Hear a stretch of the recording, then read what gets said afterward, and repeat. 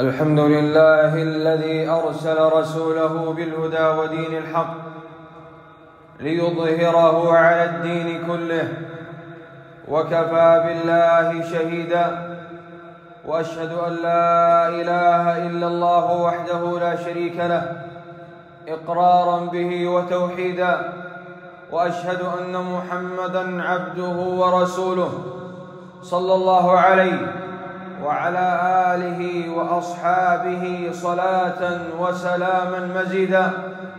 أما بعد عباد الله فاتقوا الله حق تقاته ولا تموتن إلا وأنتم مسلمون. يا أيها الذين آمنوا اتقوا الله وقولوا قولا سديدا. يصلح لكم أعمالكم ويغفر لكم ذنوبكم. ومن يطع الله ورسوله فقد فاز فوزا عظيما. عباد الله إن مما يعتقده أهل السنة والجماعة اعتقادا جازما لا شك فيه ولا ريب. اعتقادهم فضل صحابة اعتقادهم فضل صحابة رسول الله صلى الله عليه وسلم جملة وتفصيلا.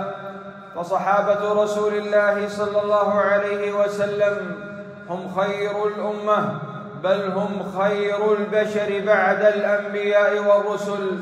فأهل السنة والجماعة يعترفون للصحابة فضلهم ويعرفون لهم قدرهم ويسمعون فيهم كلام الله سبحانه وتعالى إذ قال والذين جاءوا من بعدهم يقولون ربنا اغفر لنا ولإخواننا الذين سبقونا بالإيمان ولا تجعل في قلوبنا غلا للذين آمنوا ربنا إنك رؤوف رحيم وهذا وهذا الأمر من الله سبحانه وتعالى الذي جاء بصيغة الخبر جاء بعد ذكر أصحاب رسول الله صلى الله عليه وسلم. كما قال سبحانه وتعالى مبينا فضل المهاجرين والأنصار للفقراء المهاجرين الذين أخرجوا من ديارهم وأموالهم يبتغون فضلا من الله ورضوانا وينصرون الله ورسوله. أولئك هم الصادقون والذين تبوأوا الدار والإيمان من قبلهم يحبون من هاجر إليهم ولا يجدون في صدورهم حاجة مما أوتوا ويؤثرون على أنفسهم. ولو كان بهم خصاصة ومن يوق شح نفسه فأولئك هم المفلحون. فهذه تزكية عظيمة من الله سبحانه وتعالى للمهاجرين والأنصار. ثم جاء الأمر بأن ندعو لهم وأن نستغفر لهم وهذا هو ديدن أهل الإسلام وأهل الإيمان. أما من لم يكن على هذه الصفة بأنه لا يترضى ولا يدعو لأصحاب رسول الله صلى الله عليه وسلم فهو خارج من هذه الآية وممنوع من الفيء في سبيل الله. وآيات القرآن كثيرة جدا التي تبين فضل أصحاب رسول الله صلى الله عليه وسلم. ومن ذلك قوله سبحانه وتعالى والسابقون الأولون من المهاجرين والأنصار والذين اتبعوهم بإحسان رضي الله عنهم ورضوا عنه وأعد لهم جنات تجري تحتها الأنهار خالدين فيها أبدا. ذلك الفوز العظيم. وقال سبحانه وتعالى لا يستوي منكم من أنفق من قبل الفتح وقاتل. أولئك أعظم درجة من الذين أنفقوا من بعد وقاتلوا.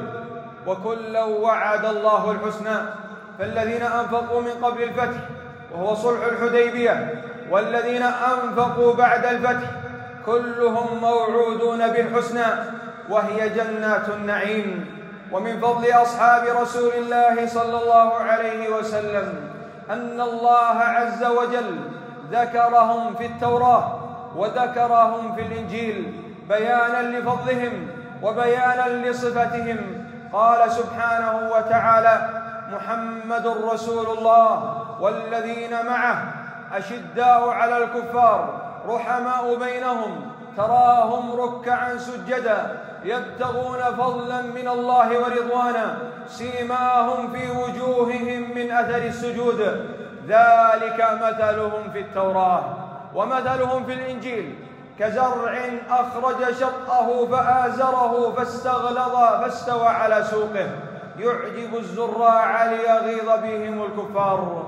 فالصحابة رضي الله عنهم وأرضاهم مذكورون في التوراة والإنجيل والقرآن وهذا يدل على فضيلتهم رضي الله عنهم وأرضاهم. فأهل السنة يعتقدون فضل أصحاب رسول الله صلى الله عليه وسلم فهم الذين نصروا دين الله ونصروا محمدا صلى الله عليه وسلم وبلغوا شرع الله عز وجل فوجب لهم فوجب لهم هذا الحب الكبير من من أصحاب من أهل الإسلام وأهل السنة والجماعة. ولذلك أهل السنة والجماعة يذكرون أصحاب رسول الله صلى الله عليه وسلم في كتب العقائد وذلك لأن من خالف في هذا الأصل العظيم فإنه على ضلال مبين. عباد الله إن أصحاب رسول الله صلى الله عليه وسلم نعتقد فضلهم جملة ونعتقد فضلهم تفصيلا. فالتفصيل أن نعتقد يا عباد الله أن أفضل الأمة بعد النبي صلى الله عليه وسلم أبو بكر ثم عمر ثم عثمان ثم علي. ونشهد لمن شهد لهم الرسول صلى الله عليه وسلم بالجنة كالعشرة المبشرين بالجنة وكمن شهد له النبي صلى الله عليه وسلم من أعيان وأفراد الصحابة رضي الله عنهم وأرضاهم. ونعتقد أن المهاجرين أفضل من الأنصار وأن أهل بيعة الرضوان قد غفر الله لهم ورضي عنهم. ونعتقد أن أهل بدر قد قال عنهم الله سبحانه وتعالى اعملوا ما شئتم فإني غفرت لكم. وفضائل أصحاب رسول الله صلى الله عليه وسلم على الأحاد والأفراد تكاثرت تكاثرا كبيرا في كتب السنة. حتى صنفت مصنفات مستقلة في فضل الواحد والفرد من أصحاب رسول الله صلى الله عليه وسلم. أصحاب رسول الله كما قال عنهم ابن مسعود رضي الله عنهم رضي الله عنه وأرضاه كانوا أفضل هذه الأمة أبرها قلوبا وأعمقها علما وأقلها تكلفا اختارهم الله لصحبة نبيه ونصرة دينه. فاعرفوا لهم فضلهم وتمسكوا بما استطعتم من أخلاقهم فإنهم على الهدى المستقيم. أقول ما تسمعون وأستغفر الله لي ولكم من كل ذنب فاستغفروه إنه هو الغفور الرحيم.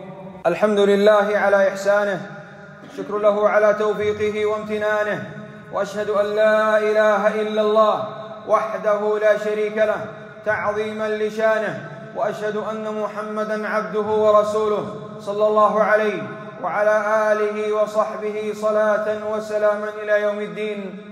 أما بعد عباد الله فإن أصحاب رسول الله صلى الله عليه وسلم هم حملة الشريعة ونقلة الدين فالطاعن فيهم طاعن في الشرع وطاعن في الشريعة وطاعن في الدين.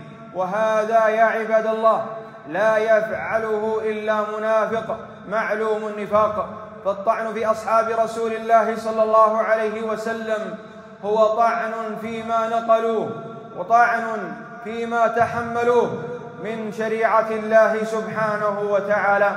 ولذلك يا عباد الله فإن من طعن في أصحاب رسول الله أو أبغضهم فإنه منافق وكافر كما استدل مالك رضي الله عنه ورحمه بآية سورة الفتح إذ قال سبحانه وتعالى يعجب الزراع ليغيظ بهم الكفار. فقال مالك رحمه الله تعالى وتلقى العلماء من بعده قوله بالقبول أن من أبغض أصحاب رسول الله صلى الله عليه وسلم فهو كافر بنص القرآن لقوله سبحانه ليغيظ بهم الكفار. فمن أغاضه أصحاب رسول الله فمن أغاضه أصحاب رسول الله صلى الله عليه وسلم فليس له في الإسلام حظ ولا نصيب.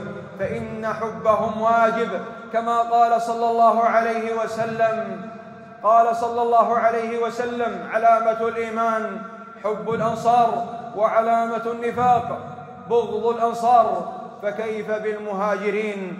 فالنبي صلى الله, صلى الله عليه وسلم بين في هذا الحديث أن حبهم إيمان وأن بغض وأن بغضهم نفاق. نعم يا عباد الله حب الصحابة إيمان وكيف لا يحبهم المرء؟ وقد عرف أنهم نصروا دين الله وفازوا بأعظم فضيلة وهي صحبة رسول الله وهي صحبة رسول الله صلى الله عليه وسلم.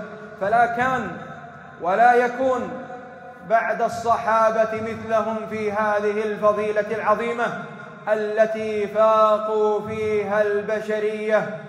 عاد الأنبياء والمرسلين. عباد الله إن الصحابة رضي الله عنهم وأرضاهم إن الصحابة رضي الله عنهم وأرضاهم بذلوا الغالي والنفيس وبذلوا, وبذلوا, وبذلوا, وبذلوا النفس والمهج في سبيل الله عز وجل فطافوا البلدان برا وبحرا حتى فتحوا الفتوحات ونشروا دين الله سبحانه وتعالى. ولذلك يا عباد الله جعل الله عز وجل محبتهم في قلوب المسلمين حتى يرث الله الأرض ومن عليها. فأصحاب رسول الله صلى الله عليه وسلم لا بد أن يحترموا ولا بد أن يقدروا ولا بد أن ندافع عنهم لأن الدفاع عنهم دفاع عن الشريعة دفاع عن نبينا محمد صلى الله عليه وسلم. ومن اعتقاد أهل السنة والجماعة في أصحاب رسول الله صلى الله عليه وسلم أنهم غير معصومين من الوقوع في الخطأ ولكن خطأهم مغفور ومغمور في بحر حسناتهم.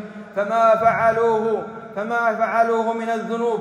تكفره الأعمال الكبيرة التي عملوها وتكفرها الحسنات الجليلة التي قاموا بها. وتغفرها أيضا شفاعة النبي صلى الله عليه وسلم يوم القيامة فهم أولى الناس بشفاعة رسول الله صلى الله عليه وسلم فلهم من الأعمال ولهم من الفضائل ما يجعل الذنوب والمعاصي التي عملوها مغمورة في هذا البحر العظيم من الحسنات العظيمة والأعمال الجليلة. ولذلك يا عباد الله من اعتقاد أهل السنة والجماعة فيهم الا يتكلم في فتنتهم إلا بالجميل والاعتذار فلا يتكلم عليهم فيما حدث بينهم من الفتنة. فإذا وجدتم من يتكلم في أصحاب رسول الله صلى الله عليه وسلم فيما وقعهم فيما وقع بينهم في الفتنة والشجار فاعلموا أنه على ضلال مبين وعلى نفاق واضح يريد الوصول إلى الطعن في أصحاب رسول الله صلى الله عليه وسلم. كما ذكر أهل العلم أن ما ورد في أن ما ورد في الذي حصل بين أصحاب رسول الله صلى الله عليه وسلم.